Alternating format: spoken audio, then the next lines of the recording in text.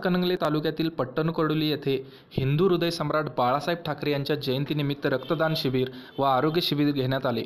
सकाळी दहा वाजता व्यापारी नागरी सहकारी पतसंस्थेच्या हॉलमध्ये छत्रपती शिवाजी महाराज व बाळासाहेब ठाकरे यांच्या प्रतिमांचे पूजन सरपंच सौ. विजया जाधव व शिवसेना उपजिल्हा प्रमुख सातापा भवाण यांच्या हस्ते करण्यात आले.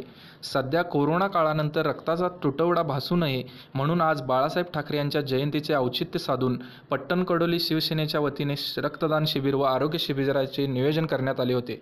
यामध्ये एकशे एक रक्तदात्यांनी रक्तदान करून खऱ्या अर्थाने बाळासाहेब ठाकरे यांना अभिवादन केले.